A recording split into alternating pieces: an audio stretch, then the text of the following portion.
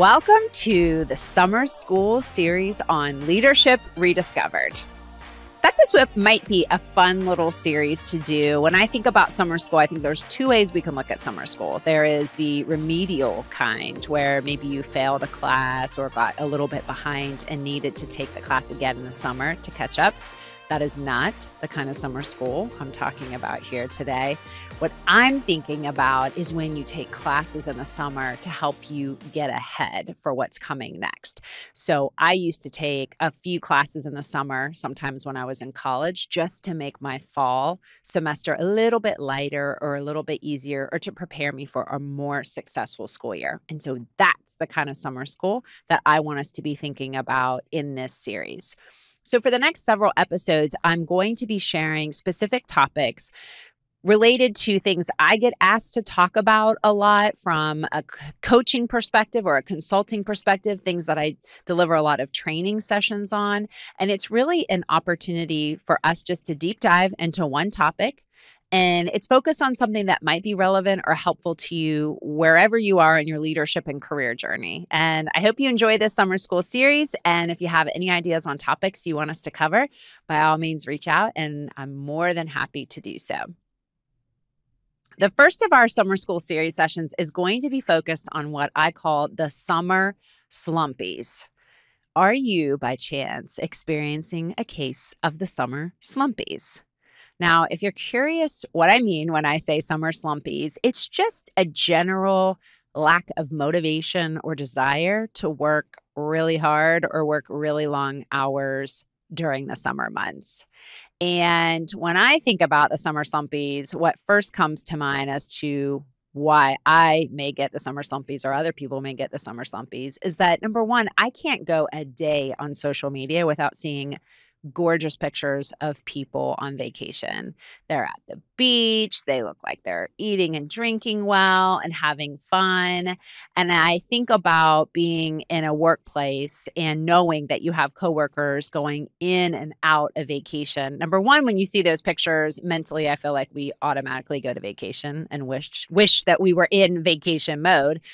But then, number two, from a team perspective, it can be really disruptive, especially when you're trying to plan projects and tasks and meetings. And it's like, well, this person's out this week and that person's out next week. And so it starts to impact productivity levels and it can really get in the way of your flow from a disruption perspective when you're trying to get work done. So I think that is one scenario that can really impact our overall motivation and productivity levels it always makes me laugh when I see memes about the fact that nothing gets done uh, basically the last four weeks of the year every year because of holidays. And I think that kind of happens again in the summer months, particularly around the 4th of July for those of us who are in the US. It's just, there's so many people that are on vacation. The whole week is just kind of like a joke in terms of getting work done. And like I said, it impacts motivation levels and I think when you see other people who are out there vacationing, you start to get jealous of them. You want to be on vacation. And that just kind of starts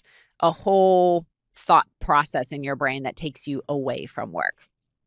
The other thing that I think impacts us from a summertime perspective and causes some of the summer slumpies is just the wonderful season that summer is. Now, I know I'm a little bit biased. Summer is my favorite season of the year, but there's just a lot more opportunities to do fun things. It's warmer, it stays lighter longer. There's just so many things you can go to the lake or maybe go to the beach, go get an ice cream cone, play golf, play tennis, play pickleball, all kinds of outdoor activities, go for walks and take the dogs out. And there's just so much to do that I think when you're sitting inside an office building or even sitting inside your house, you just feel that gravitational pull to want to go outside and want to be in the sunshine and the warmth and do something fun. I mean, when it's in the dead of winter and it gets dark at four o'clock in the afternoon, I think we're like, well, might as well work. What else am I going to do? So, the very seasonality of the weather and the bright and warmth of the summer sun, I think also can cause some of the summer slumpies and get in the way of us really being focused on being productive and getting a lot of work done. And when we think about the summer slumpies, really, this is just tied back to motivation. And that's what I want to narrow in on for this episode is just understanding a little bit more about motivation and how we can impact our motivation levels and influence them in a positive way so that we can get more work done. Now, something that I talk about quite a bit is the motivational triad. And I think it's something that it's important for all of us to be aware of. At the very, very most basic parts of our brain, we are wired to seek out three main things. And those things are seek pleasure, avoid pain, and conserve energy. So, those are massive core motivators for our brain seeking pleasure, avoiding pain, conserving energy. So, if you think about what I just talked about with the seasonality of summer, there's a lot more pleasure opportunities in the summer. There's a lot more fun things to do. I mean, there's a lot more opportunities to go to ice cream places, a lot of them aren't even open in the wintertime, which breaks my heart. So, lots more opportunities, even focused just on the seeking pleasure component of the triad. But then you also have avoiding pain and conserving energy. And I think sometimes if we feel like, well, I'm not even going to get anything done this week anyway because nobody's in the office or this one person I need to make a key decision on is out of the office on vacation that forces our brain a little bit into the conserving energy perspective as well. So be aware at the core of our motivation levels, our brain is constantly looking for opportunities to either seek pleasure, avoid pain, conserve energy, or all three. Now, luckily, we have newer parts of our brain that can allow us to turn up the motivational levels every once in a while. And that takes us into a deeper layer of understanding some other components of motivation. So, you may have heard the concept of intrinsic motivation versus extrinsic motivation. And intrinsic motivation is something that's internally rewarding or internally validating. So, these are rewards that create outcomes that satisfy your basic psychological needs. It covers things like autonomy, mastery, and purpose, which I'll talk about in a little bit. And then extrinsic rewards or extrinsic motivators have to do things that are externally rewarding or validating. So it could be things like money, fame, power, or even avoiding consequences, as an example. So when I think about intrinsic motivation, this is generally people who might be motivated by rewards that they find more internally validating, such as the sense of pride or accomplishment that we feel by doing a good job completing something. It could be the joy or connectedness or belonging that happens when we're a part of a team and that we're contributing to something that's bigger than ourselves. And those good feelings impact our levels of psychological safety and really contribute to those intrinsic rewards. And then some of us are also motivated by extrinsic rewards, and that could be cash, that could be recognition, power, status any opportunities that are kind of like carrots that are out there dangling for us to go after as we try to achieve our goals. Now, most of us are motivated by a combination of both intrinsic and extrinsic rewards, although we might have, we might lean one way or the other. And it's also important to note that while extrinsic rewards can be really helpful, those typically aren't things that are as long lasting and sustainable as intrinsic rewards. So, intrinsic rewards I mentioned earlier contains things like autonomy, mastery, and purpose. And those are all concepts that are covered by Dan Pink in the book that he wrote called Drive. And there's a fascinating video out there on YouTube that I highly encourage you to watch. That's a nine minute synopsis of this book, Drive. But basically, there was a lot of research that's been done around motivation and what truly motivates people to work hard. And is it what's formally or commonly known as the carrot and the stick method, which is punishment versus financial rewards? Or is it something else? And in that book and also that video that you can watch online, Dan Pink talks about the fact that extrinsic rewards are helpful in the short term. So if I know that I just need to knock out a few extra things in order to get a cash bonus, maybe I'll be doing it. And especially if I don't feel like I'm paid appropriately. But those longer term sustainable rewards are the things that keep us showing up day in and day out.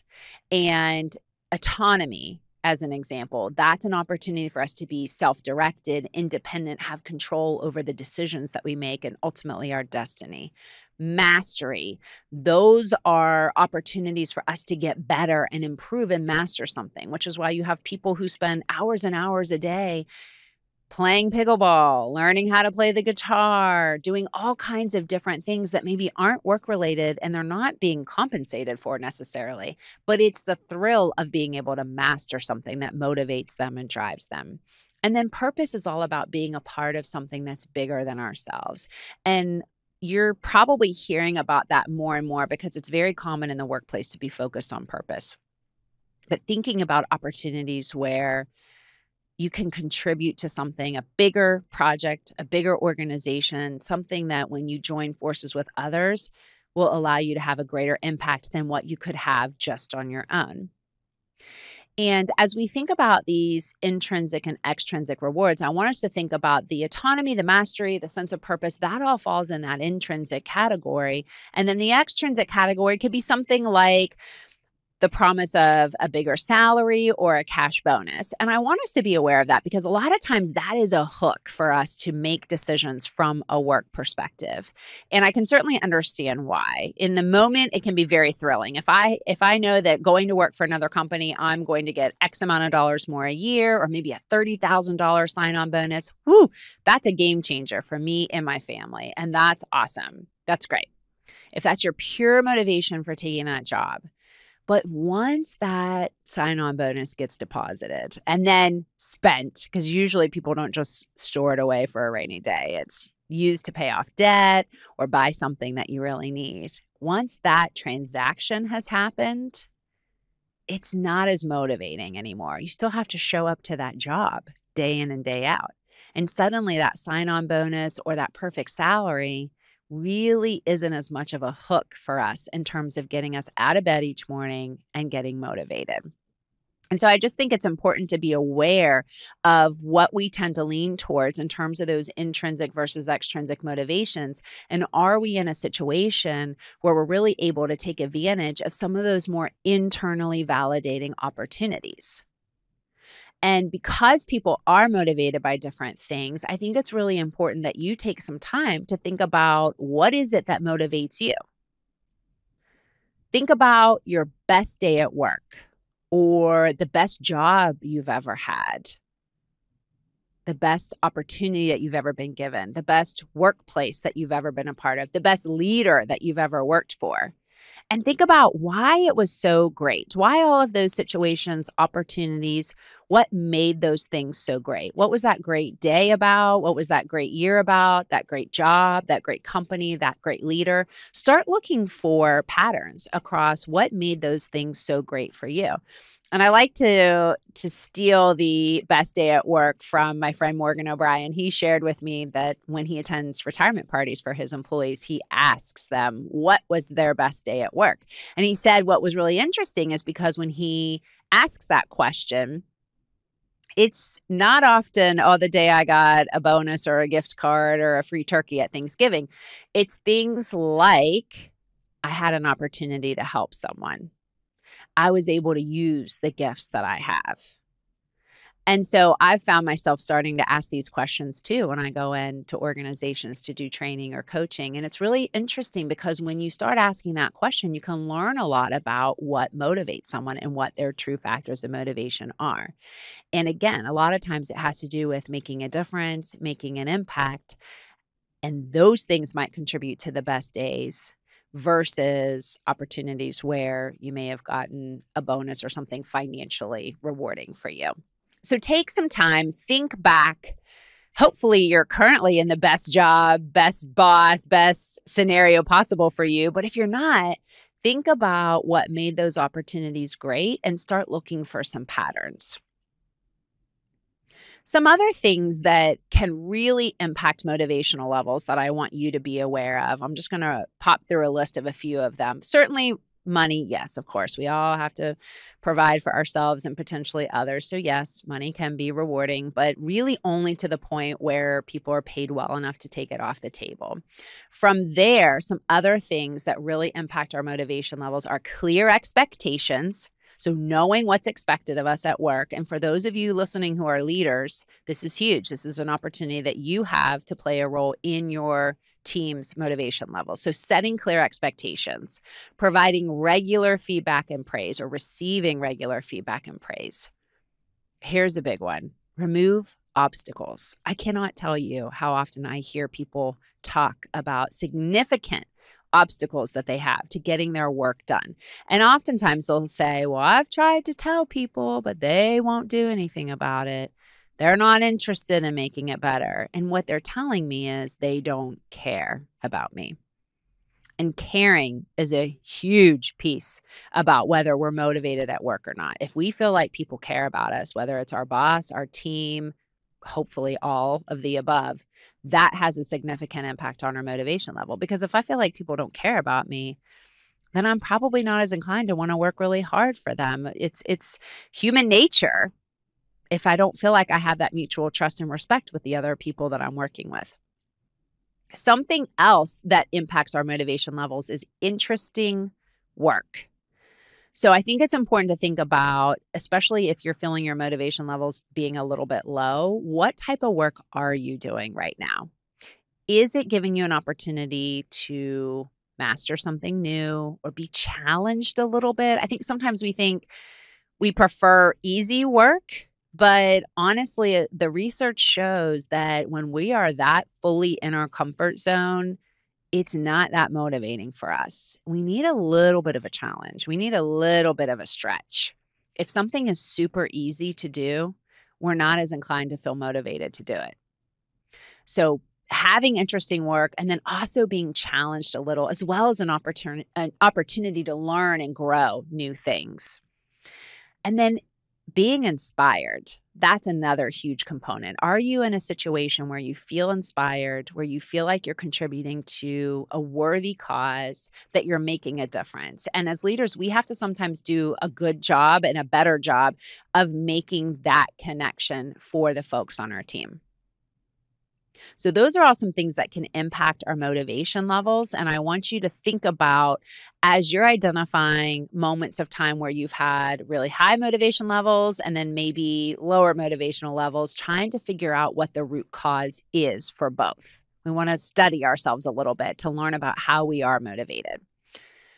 Something that I think is also important to keep in mind and consider is that motivation levels do not stay consistent there are going to be days that you wake up and you're feeling great and you have a lot of motivation to tackle what's in front of you. And then there's also going to be days where you're just not feeling it. And I say, give yourself some grace because that's normal. That happens. And there's a lot of factors that go into that. So, the most important piece about that is just being aware of it, recognizing those days that you wake up and you're like, hmm, I'm just not feeling it. And when you have those days, I think it's important to, again, number one, notice them, be aware of them. But then number two, think about why. And it could be related to so many different things, but overall well being has a huge part in it. So, how much sleep did you get? And how much sleep do you need to be at your best level? How's your nutrition working out right now? Are you fueling yourself in the best way? Are you moving? Are you getting exercise? Are you keeping your energy levels high? How's your mental health? And speaking of mental health, how it, are the relationships? What's the quality of relationships in your life like? And believe it or not, all those things impact how you show up day in and day out and how you're feeling. So it's really important to do a quick check in all areas of your life. How are you feeling? And then how could that potentially be impacting your motivation levels and specifically at work. But again, give yourself some grace and pay attention to the number of days. What I think is more important is not so much saying, oh, being down on yourself if you're having a down day from a motivation perspective. That happens. But when every day you wake up and it's a down day, or you're having more non motivated days, the motivated days, and you're starting to notice a pattern, that's something that you want to pay some closer attention to and really explore. Because if you're starting to really struggle and have what some people call the Sunday blues or the Sunday scaries, where the thought of going back to work on Monday is really distressing for you, then that's something that's worth exploring and thinking about why that might be. And you can go down so many rabbit holes with that.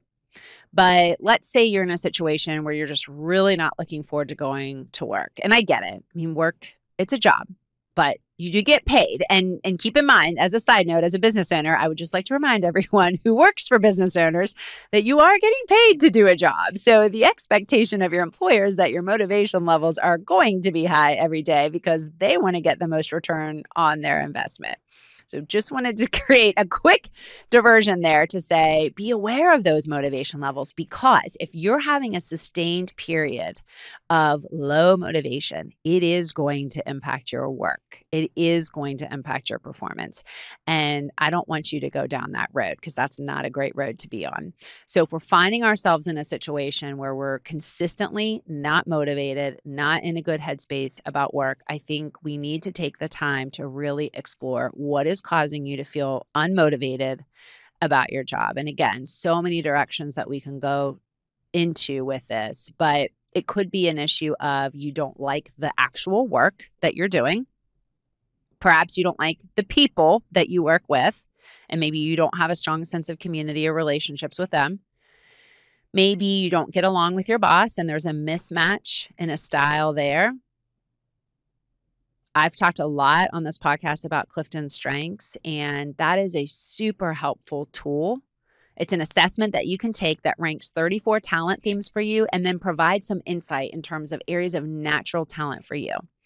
And if you can focus and invest on those talents and turn them into strengths, the research shows that people who are working in their strength zone are 60% or more. I'm sorry, I said that wrong if people who are working in their strength zone 60% or more of the time are far more likely to be engaged and productive in their work. And it even overflows into their satisfaction with their personal life too, their overall happiness. So, working in your strength zone 60% or more of the time results in you being far more likely to be engaged and productive in your work. And that has a positive impact for your employer. And it also has a positive impact for you personally. So if you don't know what your strengths are, check out the assessment. And if you do, think about are you operating in a place of your strengths? Are you able to leverage the strengths that you have 60% or more of the time? Are you working on things that light you up and get you excited? And do you know what those things are? And if the answer to that is no, I'm only going to use my strengths 20% of the time or 30% of the time, then that's something to be aware of. Maybe this is not the right role for you. And that doesn't mean you have to just suddenly quit your job and leave and go somewhere else, but think about do you have the ability to influence that in your current role? Are there opportunities for you in your role, in your current environment, team, organization, where you can potentially do different work that does align better with your strengths and leverages your strengths? And if the answer to that is no, then okay, maybe start thinking about making a change because that sustained, continued lack of motivation is definitely going to have an impact on your performance. And again, I do not want you to go down that road. So it's really important to think about how you can manage that. Some other questions that you can ask yourself is Am I really being challenged? Am I really being stretched? Am I really going out of my comfort zone? And I know sometimes we want that easy work. We think we want to be in our comfort zone, but we're really not doing our best work when we're in that scenario. So, thinking about looking at those patterns on what has created success for you in the past and then I also think just take a look at your to do list right now and what's going on in terms of what's on your plate. Are you super overwhelmed? Sometimes that can really shut people down. And if you are feeling overwhelmed, or maybe you're potentially experiencing some burnout, then what are the things that you need to do to get some control and influence over your situation? Maybe you can talk to your manager, make sure they're aware of all the things that you do have on your plate see if there's opportunities to get some support so that you don't feel so overwhelmed. If you're in a leadership role are you delegating enough? Some of our leaders have issues with that. There's a lot of different questions we can be asking ourselves about the actual work that we are doing and how we're getting it done and how that is impacting our overall motivation levels if you've been engaging in a lot of repetitive tasks or you feel like you're stagnating, that can impact your motivation levels as well. So that's something important to look at. If you've been in, if you're working in too repetitive of tasks, it can get to the point where it's just like, oh, Groundhog's Day. Here we go again. Something else that I think is really interesting is I was reading a book and they were talking about fear in organizations and essentially consequences. And thinking about, especially being rewarded from an extrinsic perspective by positive rewards, that can be things like a pat on the back or a gift card or money. But sometimes those extrinsic rewards are actually the avoidance of consequences. So maybe I'm motivated to work because I don't want to get in trouble or I don't want something bad to happen. And believe it or not, if we have zero consequences to our behavior, if we're not being held accountable in any way for the work that we're doing, or it's very minimal, that's actually not motivating for us to get anything done either, because you kind of feel like, what's the point? If, if it's not a big deal, if I don't do this, nobody's watching, nobody cares, nobody's paying attention, doesn't even matter if I do a good job. Nobody's going to hold me accountable. My work doesn't make a difference here. It doesn't matter. Those are all things that are going to impact your motivation levels as well. So if you're operating in a space with little to no consequences, that can impact performance. And be aware for those of you listening who are in leadership roles, leaders of people, that is, make sure that you are creating accountability systems so that people recognize not that they're afraid because we want people to thrive in their roles, but they recognize that there is an expectation that people will deliver on what they've committed to do. Another thing that I'd like to say for our leaders who are listening is that be aware a common motivating factor is having a manager that cares about them and know that Research by Gallup shows leaders account for 70% of the variance in employee engagement. So, if there are individuals on your team who are not operating at high levels of performance, who are not acting motivated, be aware that it could be related to your leadership style. Oh, I know. Tough love here. Summer school. Maybe it does feel remedial at this point. Again, we are all responsible for our own motivation. It is not a leader's job to force motivation on someone else, but as leaders, we are responsible for things as well as it relates to motivation. And that includes creating conditions where people can thrive and be at their best and bring their best selves to work every day. So I would ask you are you creating the right type of environment for people where they feel cared for invested in, and supportive? Have you talked to your team about what obstacles might be getting in the way of them being successful in their job? Have you had conversations about their motivation? How are you feeling? What are you excited about working on right now? What are you not so excited about? What do you enjoy the most about your job? What do you enjoy the least about your job? You can ask that beautiful question that I love to ask, knowing what you know about your job now. If you were applying and interviewing for this job, would you still want the job? You got to be ready for the answer to that question by the way that's a that's a pretty deep question but you could get a lot of information out of it if you ask that question so think about learning more about any frustration that exists amongst your team related to barriers to getting their work done because I can't tell you how much that impacts people's attitude at work and their overall motivation levels. If they come into work and everything's a hassle and everything's a challenge, they just become so easily frustrated that they don't want to try anymore. They just give up. So we got to make sure that we're talking to our employees on a regular basis to find out how they're doing, how they're feeling, and are they able to get their work done effectively? And if not, what's getting in the way? Because it is our job as leaders to identify those obstacles and barriers and remove them so that our team can ultimately be successful. So, we've covered a lot about motivation, but hopefully, it's given you an opportunity to just reflect a little bit on how your brain motivates you. What are the things that are most important to you? Is it financial rewards? Is it staying out of trouble? Is it things like autonomy, mastery, purpose?